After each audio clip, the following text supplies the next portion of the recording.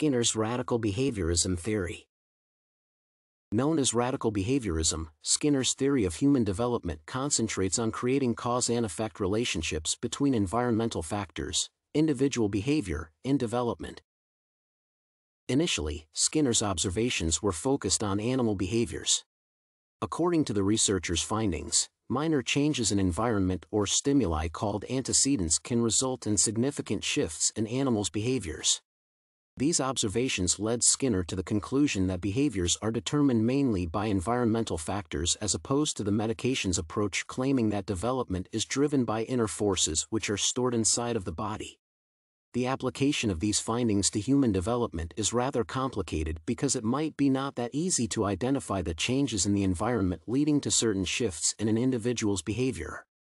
Though it is doubtless that various external stimuli may have an impact upon an individual's behavior, the question is whether the determinants of a person's behaviors and development can be limited to the changes in the environment.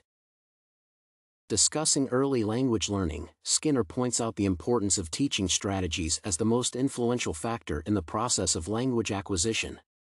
As to healthcare practice, a clear understanding of this theory can help define the causes of patients' diseases and establish the cause and effect relations between the antecedents and health problems as well as select effective intervention strategies by considering these relations. Skinner's radical behaviorism focuses on the links between environmental changes and a person's condition and can be valuable for diagnosing and treating different diseases.